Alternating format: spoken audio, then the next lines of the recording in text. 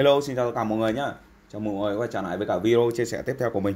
Thì hôm nay ờ, mình sẽ hướng dẫn mọi người là làm thế nào để ờ, thêm cái tiêu đề bài hát và cái bài hát vào đầu trang cá nhân nhé mọi người nhé.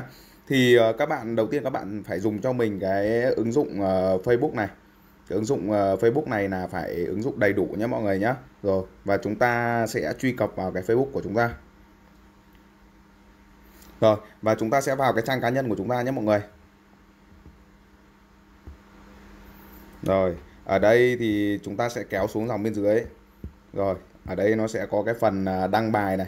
Thì ở trong đây nó có cái phần âm nhạc đây nhá mọi người nhé. Đây. Nếu mà ứng dụng Facebook của mọi người chưa có phần âm nhạc này thì à, các bạn à, lên cửa hàng các bạn cập nhật lại cái Facebook này cho mình nhé. Rồi chúng ta sẽ ấn vào phần âm nhạc.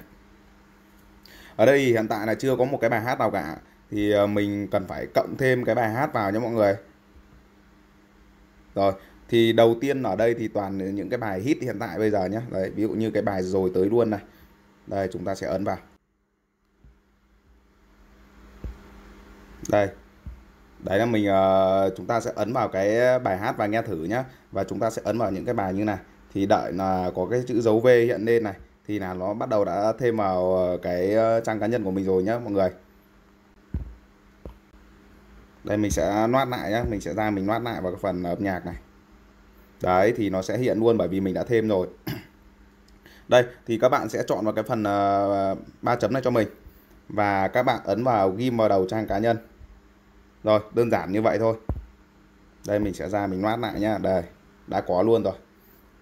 Đây các bạn.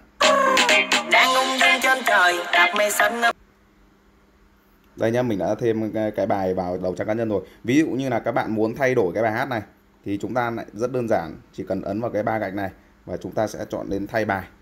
Thì chúng ta sẽ chọn cái bài ví dụ như hạ còn vương nắng này ok.